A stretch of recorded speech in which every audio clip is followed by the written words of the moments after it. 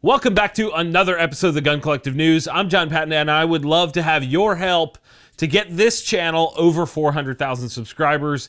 If you could tell a couple friends that maybe want to get subscribed, something like that, that'd be great.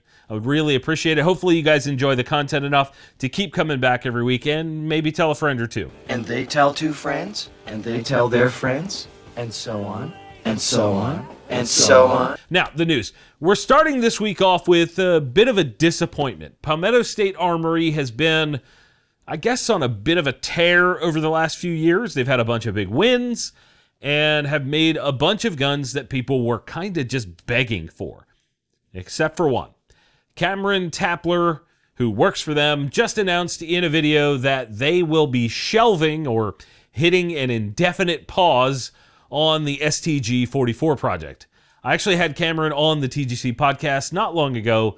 There's a link in the description. Go watch it. It's pretty cool. He's a great guy. Now, for those that don't know, PSA actually acquired this STG 44 project from a company called Hill and Mac Gunworks, who uh, essentially took a bunch of pre orders and then never delivered due to a bunch of different reasons. I'm not going to get into that. I'm not positive if people actually ever lost money, got their money back. And as it turns out in this situation, that gun was so far from production ready that even PSA's engineers couldn't make it come to be. And now it's on hold so they can focus on stuff that will actually work and sell. It's nice to see a big company actually have some transparency about their stuff they're working on and leave behind stuff that's just not working so the public doesn't later become a beta tester. Winchester just announced that they are coming out with a full line of optics called Supreme. The line includes a couple rangefinders, some spotting scopes, binos, and some magnified optics as well. All of which are under 400 bucks MSRP, which is kind of surprising with a name like Supreme. You'd figure it'd be like really, really high quality and whatnot.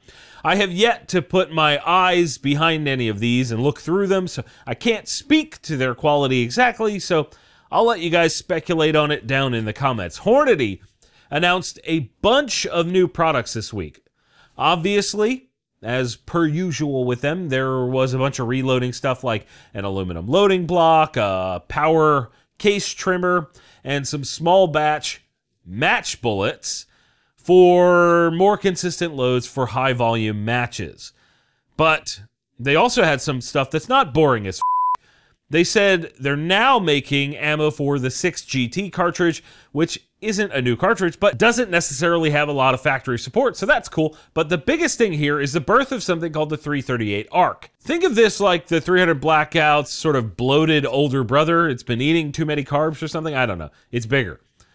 There are two types of ammo on launch. Uh, a 175 grain Hornady Black Load, which is said to leave a 16 inch barrel at just under 2100 feet per second, and the one that actually matters is the subsonic load that uses a 307 grain bullet and leaves a 16 inch barrel at 1050 feet per second, aka subsonic. That means it will also be very subsonic out of a shorter barrel as well. The key here is that unlike 8.6 Blackout, which has to fit into an AR-10 size receiver, this 338 ARC will fit into an AR-15, and it can use some of the same projectiles. Unfortunately, you don't really have the ability to play with the ARC in terms of like seating length, seating depth, and maybe heavier projectiles like you might with the 8.6 but this is going to be super interesting overall. My understanding is that the twist rate that's getting good results from the 8.6 is a 1 in 3 twist, meaning every 3 inches the bullet has one full rotation. Well, Hornady is recommending a simple 1 in 8 twist for this new 338 ARC. As with any new cartridge, this is going to require industry support for firearms and parts, and just like other ARC and PRC cartridges, Hornady has done that with brands like Aero Precision, Brownells, PSA, Primary Weapons, and a few others.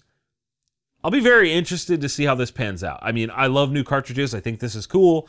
Big, heavy bullets, that's always fun. And I'd love to get some feedback from you guys down in the comments while I tell you about this week's sponsor, Medical Gear Outfitters. Whether you're looking to get an IFAK for yourself, like the Civilian Medical Trauma Kit, or maybe something a little bit more diverse to keep in your truck, like the Overlander First Aid Kit, They've got you covered. They even have one called the Mom First Aid Kit that has everything you can think of for minor boo boos all the way up to major trauma. These kits from Medical Gear Outfitters will help you stay prepared for anything. And to make it even more affordable than it already is, use the code TGC10 for 10% off at medicalgearoutfitters.com. Big thanks to Medical Gear Outfitters for sponsoring this week's video.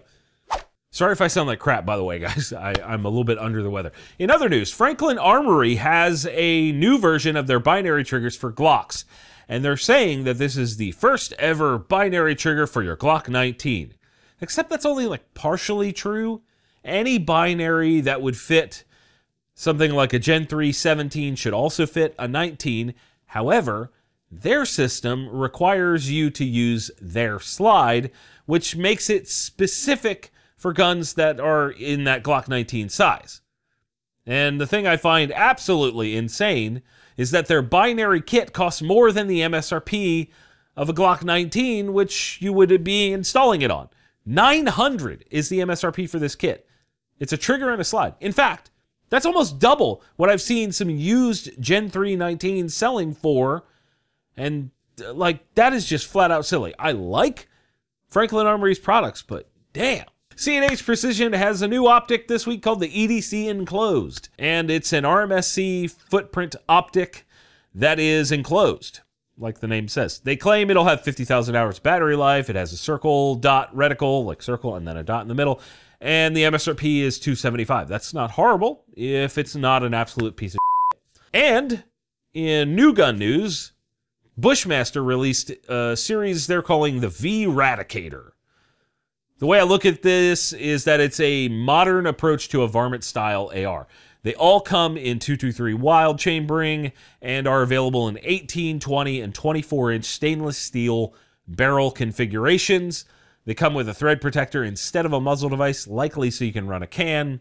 They come with a two stage trigger, Magpul stock and grip, M-LOK handguard, blah, blah, blah. I mean, it's kind of what you would expect. It's geared towards varmint hunting guys that like that sort of thing. MSRPs go from 1103 for the 18 inch and go up to 1129 for the 24 inch. And honestly, that's not that bad if these things shoot well. That's going to be sort of the make or break here. If these can't hold at least inch and a half groups at 100, it's trash. Time will tell though. Also in new guns is Hi-Point. I was not expecting this one. They've got two new versions of their carbine, sort of. Say hello to the 995P and the 4595P. Essentially, these are chopped down versions of their full size carbines. The barrel length on the 45 is 14.25 inches, which is three and a quarter inches shorter than normal. The 17 and a half, what the f- Hi-Point? The 9mm has a 13.25 inch barrel. No idea why it's an inch shorter. And They've chopped off the rear stock and replaced it with a plate that accepts an AR style buffer tube. It actually comes with one of those pick rail things on the rear, but it can also take a buffer tube. That's cool. Otherwise, these are exactly the same as the carbine, same mag, same everything. MSRP for the 9 is 399 and the 45's MSRP is 461. I honestly can't decide if I love them or hate them. They're kind of goofy, but I kind of want one. One of the most requested types of content that I've been asked about from you guys is sort of longer, more in depth interviews with cool people in the industry. I've asked for suggestions, and that always comes up top. Manufacturers, content creators, subject matter experts, that sort of thing. I've been doing exactly that on the Gun Collective podcast channel, and it would be awesome if you guys went over there and got subscribed, check it out, look at a few of the recent episodes and let me know what you guys think in terms of guests. If there are specific people that you want to see on there, you want to know more about them, let me know. I can probably get most of them to be on there. I've had politicians, national security experts, all the gun tubers I can think of, and gun brands on there. And I'd love to keep that trend rolling. In more new gun news, Palmetto State Armory just released a 300 blackout version of their Soviet Arms Krink. Well, five versions to be correct. It wouldn't be PSA if they did it in one flavor, right? That's not how they roll. All of them center around the same setup and have slightly different accoutrements. At the core, you have an AK-74 chambered in 300 blackout with an 8.4 inch barrel, the M24 by 1.5 inch threading to accommodate the classic Krink like wire cutting brake thing that actually ends up being a flamethrower.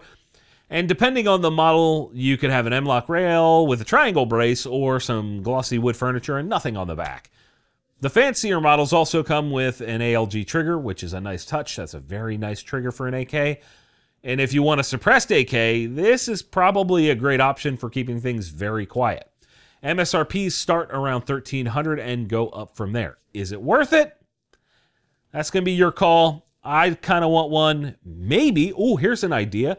Maybe in 338 ARC. That would be cool. And HK USA released a ground up new gun for the first time in years. It's called the CC9 and it's pretty interesting. At the core, you have a chassis based striker fired 9mm with a 3.3 inch barrel, 10 round flush fit mag, 12 round extended mag, and a couple other things like RMSC optic cut, ambi controls, two back straps, and a pick rail under the nose, which isn't super common. Not every gun in this size category has one. They are claiming that this has been through the absolute wringer when it comes to reliability testing through sand, dust, mud. Something uh, I, I can't really think of another thing that you would want to test this for, but sure that probably too. The MSRP on this thing is 700, and that puts it on the higher end of this style of small gun. It's not Kimber style lunacy when it comes to pricing, but it's not cheap. I have a couple things that are small gripes here. I wish I could get it with the paddle release like my VP9 that I've been carrying for years instead of the button release. I prefer the paddles. I think all guns should have that option because I think paddle release is actually really good. And I wish the texture on this gun was a bit more aggressive. I do have one of these in hand, but I don't really want to turn this into a review. The gun's actually right back there. I don't want to turn this into a full on review. So, what I will say is that it's not perfect, but it has been reliable for me so far. I've seen a lot of talk on the posts of this gun on social media about how they're copying one brand or another. And I don't really think that's fair because that means every gun in this category is copying each other because they're all very similar. It is way late to the party of micro compacts, but it is entirely possible that's still a pretty good gun. I'd love to hear what you guys have to say about this down in the comments. Also, a bunch of people in the comments have been asking why the videos are getting cut off at the end, and all I can say is